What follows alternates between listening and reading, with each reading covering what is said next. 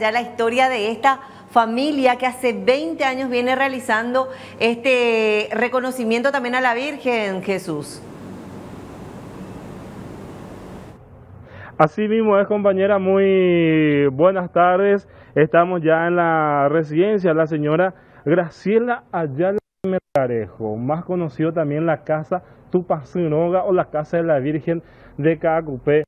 Eh, aquí en la capital departamental de Misiones. Como ves en imagen, lo que es esta gruta donde está hace más de 20 años la Virgencita de Cacupé acompañando a esta familia y por supuesto a los fieles devotos de la Virgen de Cacupé que vienen a hacer sus oraciones, a cumplir lo que es su promesa aquí eh, con, esta familia puedan ir hasta la ciudad de Cacupé, hasta la basílica de, Cacupé, ellos vienen acá a poder, como estaba señalando, a cumplir sus su, eh, promesas o a pedirle eh, una promesa lo que va a hacer para el siguiente año.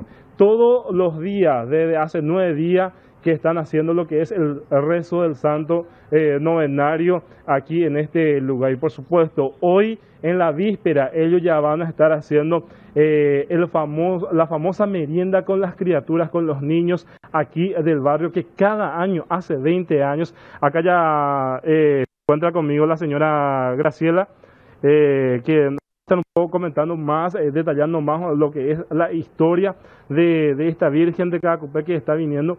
Eh, me estaba señalando, doña Graciela, antes que nada, muy buenas tardes por supuesto muchas gracias por recibirnos acá eh, en su residencia y hablar un poco de lo que es esta historia de la Virgen de Cacupé. Buenas tardes, gracias a ustedes por su visita. Y bueno, hace 20 años que estamos con la madre cumpliendo con ella.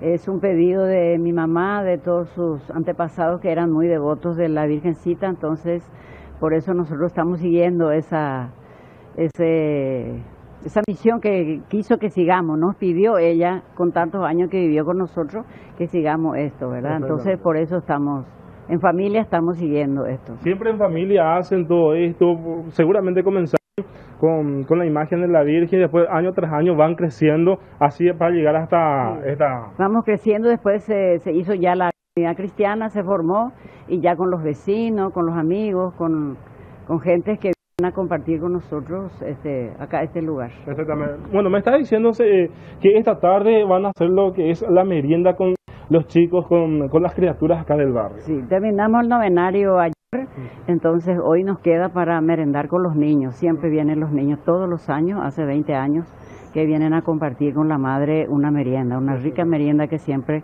preparamos con la ayuda de toda la comunidad. Aparte de eso, me estaba también señalando que, que fieles, devotos a la Virgen de Cacupe de otras ciudades, de otros lugares, no solamente acá de San Juan, se llegan acá hasta tu residencia. Sí, vienen de todos lados, todos lados. Los que tienen noticias por ahí que está la madre acá, siempre vienen a visitar, siempre está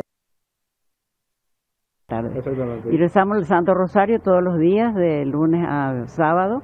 Entonces, a la tarde siempre rezamos el Santo Rosario, compartiendo con la gente. Cotidianamente. Cotidianamente, No, es necesario en estas fechas. No, no, no, no es necesario en estas fechas. Bueno, comentando un poco cuál es el programa, lo que va a hacer para el día de mañana, eh, el Día de la Virgen de Carmen. Esto le va a contar la profe. Sí, la profe Gladys acá también, eh, eh, ella es miembro de la comunidad, la profesora Gladys Insaurralde. Bueno, profe, comentando un poco cuál es el programa, lo que va a hacer para el día de mañana. Bueno, primero te voy a contar que después de que los chicos eh, tengan su merienda, tenemos también la víspera con una santa misa, adoración al Santísimo, le esperamos hasta las 12 para saludar a nuestra madre, un día tan importante, la Inmaculada Concepción, que en este caso nosotros, nuestra devoción en la vocación de la Virgen de los Milagros de Cacupé. Mañana a las 17 horas salimos en procesión desde la casa y nos la iglesia catedral. En la esplanada estaremos rezando el Santo Rosario que el Papa había señalado para todas las mujeres. Nos unimos con nuestros esposos, hijos, nietos, sobrinos, a hacer ese Santo Rosario que es el que, como decía la señora Graciela, el que nos mantiene a diario en esta casa. Acá nosotros recibimos fortaleza, ánimo, alegría.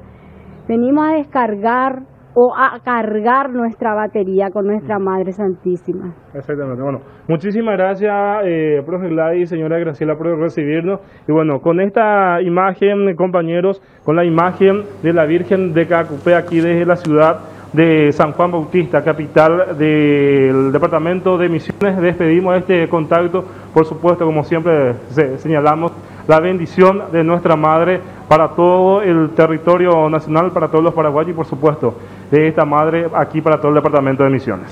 Gracias Jesús y también a la señora Graciela por recibirnos hoy en su casa.